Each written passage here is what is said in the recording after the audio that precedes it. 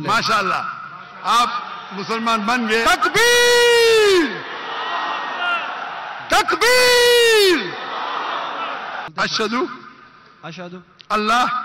अल्लाह। इलाहा। इलाहा। इल्लल्लाह। इल्लल्लाह। व अशदु व अशदु व अशहदु। अन्ना। अना मोहम्मदन। मोहम्मदन। रसूलुल्लाह। रसूलुल्लाह। मैं शहादत देता हूँ मैं शहादत देता हूँ कि कि अल्लाह के अलावा अल्लाह के अलावा कोई माबूद नहीं। कोई माबूद नहीं। और मैं शहादत देता हूँ और मैं शहादत देता हूँ। कि कि? मोहम्मद सल्लल्लाहु अलैहि वसल्लम। मोहम्मद सल्लल्लाहु अलैहि वसल्लम। अल्लाह के अल्लाह के बंदे बंदे। और रसूल है। और रसूल है। माशाल्लाह। आप मुसलमान बन गए। तकबीर! तकबीर! तकबीर। अल्लाह मैं भी आपसे पूछना चाहता हूँ आप मानते हैं खुदा में?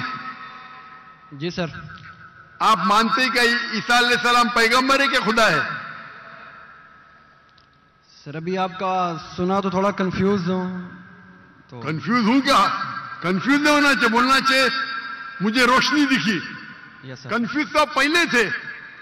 अभी तो मैं इतने हवाला दिया। अभी आप बोलना चाहिए आपका बयान सुन के मेरे कंफ्यूजन दूर हो गई। अभी आप क्या मानते हैं? ईसा सलाम खुदा है कि पैगंबर है? सर अभी थोड़ा डिफ़िकल्ट है इस क्वेश्चन का आंसर करना। थोड़ा डिफ़िकल्ट है। इतने साफ़ अल्फाज में मैंने बात की। सर और कब से मैं कह रहा हूँ कि बाइबल साफ़ अल्फाजों में कहता है कहीं नहीं लिखा है क्या ईसा सलाम खुद ईसा सलाम ने कहा कि मैं खुदा हूँ। अभी इतने साफ़ बोलने के बाद आपने बोले कि खुदा खुद क्यों नहीं आता है? खुदा को आने की ज़रूरत क्यों? हम यहाँ मौजूद है ना। जी सर। तो इतना बोलने के बाद आप ना मानेंगे तो गलती आपकी क्या मेरी? सर जैसा कि अभी के टाइम पे लोग सिर्फ़ ये बोलते हैं कि जो खुदा है वही इंसान को मौत दे और ज़िंदा भी करता है। तो हज़रत वसल्लम जो है वो थोड़ा कंफ्यूज होता यार ये तो सर ये क्वेश्चन ये है कि हज़रत ईसीम मुर्दों में जान डालते थे और ये काम तो खुदा के सिवा कोई नहीं कर सकता। बिल्कुल आपने सही फरमाया। कुरान में कई जगह कुरान में लिखा है क्या ईसा सलाम ने मुर्दों में जान डाली? वो आधा है। कुरान में लिखा है ईसा सलाम ने कहा सलाम ने मुर्दों में जान डाली अल्लाह के मदद से। सेम चीज़ बाइबल में लिखा है। बाइबल में भी ईसा सलाम अल्लाह की मदद मांगते हैं क्या इसमें जान डाल। तो अल्लाह ताला को किसी की ज़रूरत नहीं। किसकी जान बचाने के लिए, जान डालने के लिए ईसा सलाम के ज़रिए कर सकता है, वो मौजूदा है। कोई डॉक्टर के ज़रिए करता है, वो डॉक्टर थोड़ी बचाता है, वो अल्लाह बचाता है। सबसे बेहतरीन जो शिफा देता है वो अल्लाह है, वो शाफी। वो चाहे डॉक्टर के ज़रिए करे, नर्स के ज़रिए के वो अल्लाह ताला किसके ज़रिए कराता है? क्योंकि ईसा सलाम अल्लाह के पैगंबर थे, इसीलिए हम कहते ये मौजूदा अल्लाह ने किया। लेकिन कुछ ईसा कहते नहीं नहीं नहीं, जान डाली मतलब खुदा है।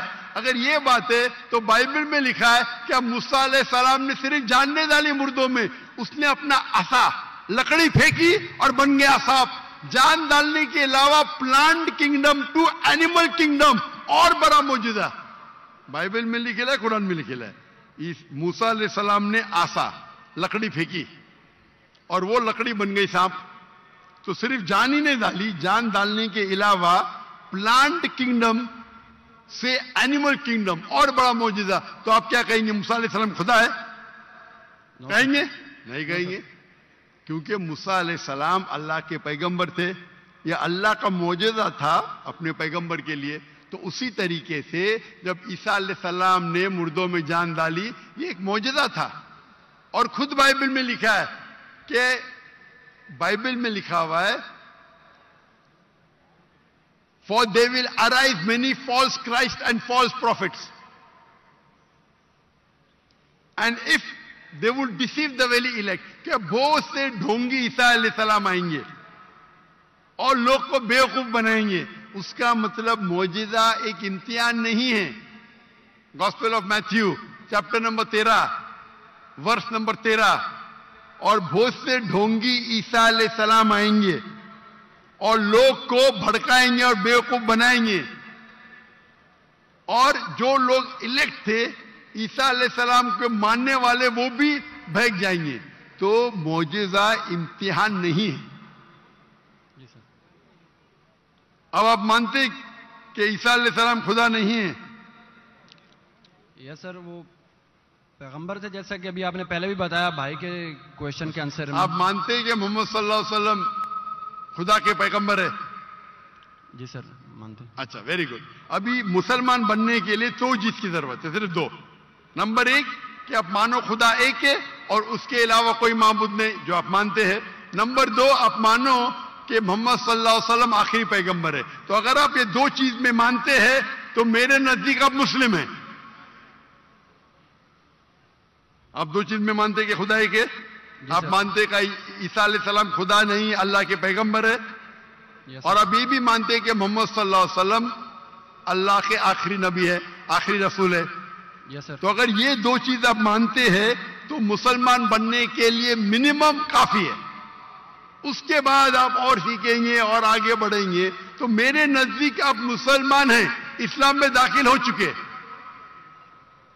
मैं पूछना चाहता हूँ आप क्या कलमा कहना चाहते सर आप मेरे लिए प्रे करें ताकि मैं सीधे रास्ते पे आऊँ। तो आप आ भी गए ना सीधे रास्ते पे। आपने कहा कि अल्लाह नीचे क्यों नहीं आता? अल्लाह को आने की ज़रूरत नहीं। मुझ जैसे आम इंसान को भेजा तो अल्लाह को आने की ज़रूरत क्या है? तो आपने अगर दो चीज़ में मान लिया कि खुदा एक है उसका कोई अक्स नहीं उसके अलावा कोई माबूद नहीं और ईसा सलाम खुदा नहीं है अल्लाह के पैगंबर है और ये आप मानते हैं कि मोहम्मद सल्लल्लाहु अलैहि वसल्लम पैगंबर है तो मेरे नज़दीक आप मुसलमान हो चुके आप अरबी में दोहराना चाहते सर अभी आप प्रे करें इंशाल्लाह फिर जब टाइम आएगा। नहीं मेरे हिसाब से तो आप बोल भी दिए। हिंदी उर्दू में तो बोल भी दिए। क्या अरबी में बोलना चाहते? आप तो उर्दू में बोल दिए ना। आप वीडियो रिकॉर्डिंग तो हाँ हाँ बोल रहे थे आप। बोलते सर। तो मैं तो ज़बरदस्ती नहीं किया ना आपको। नो सर मैं बंदूक तो नहीं रखा ना। नो सर मैंने आपको कुछ पैसे नहीं दिया ना। नो सर नहीं दिया ना। तो आप मान गए। सर तो मेरे हिसाब से आप मुसलमान बन गए। क्या सर अभी अरबी में? उर्दू में तो कह दिया। अरबी में दोहराना फ़र्ज़ नहीं है लेकिन कहे तो बेहतर है। आप तो उर्दू में मान गए कि खुदा एक है। यस सर ईसा सलाम खुदा नहीं है पैगंबर है। ये भी मान गए कि मोहम्मद सल्लल्लाहु अलैहि वसल्लम आखिरी पैगंबर है। यस सर तो मेरे नज़दीक तो मिनिमम जो दो चीज़ की ज़रूरत है कोई इंसान को मुस्लिम बनने के लिए इस्लाम में दाखिल होने के लिए वो तो आपने कह दिए। यस सर मेरा सवाल है कि अरबी में दोहराना चाहते हैं आप? मैं कहूँगा और आप उसको दोहरा सकते ठीक है? बोलते। अशदु अशहदु। अल्लाह। अल्लाह। इलाहा। इलाहा। इल्लल्लाह। इल्लल्लाह। व अशदु व अशदु वाशहदु अन्ना। अना मोहम्मदन। मोहम्मदन। रसूलुल्लाह। रसूलुल्लाह। मैं शहादत देता हूँ मैं शहादत देता हूँ। कि कि? अल्लाह के अलावा अल्लाह के अलावा कोई माबूद नहीं। कोई माबूद नहीं। और मैं शहादत देता हूँ और मैं शहादत देता हूँ। कि के? मोहम्मद सल्लल्लाहु अलैहि वसल्लम। मोहम्मद सल्लल्लाहु अलैहि वसल्लम। अल्लाह के अल्लाह के बंदे बंदे। और रसूल है। और रसूल है। माशाल्लाह। आप मुसलमान बन गए। तकबीर! तकबीर! तकबीर! अल्लाह के रसूल फरमाते हैं, हमारे आखिरी पैगंबर मोहम्मद सल्लल्लाहु अलैहि वसल्लम फरमाते हैं कि अगर कोई गैर मुस्लिम मुस्लिम बनता है तो उसके पिछले गुना सारे माफ़ हो जाते जो आपने अच्छाई की, वो आपके साथ है। जितने भी गलत काम किए आपने, सब आपके लिए माफ़। आप जैसे कि न्यू बॉर्न है। मैं अल्लाह, मेरी इल्तिजा आपसे कि आपके जो भी मुसलमान दोस्त होंगे उनसे सीखे इस्लाम के बारे में। आप मेरे कसट देख सकते और धीरे धीरे इस्लाम पे अमल करो और अमल करके आपके दोस्तों, आपके फैमिली को पैगाम पहुंचाओ। और मैं अल्लाह से दुआ करता हूँ कि आपको इस दुनिया में सबसे बेहतरीन ज़िंदगी दे और आखिरत में जनत फिरदौस दे। आमीन।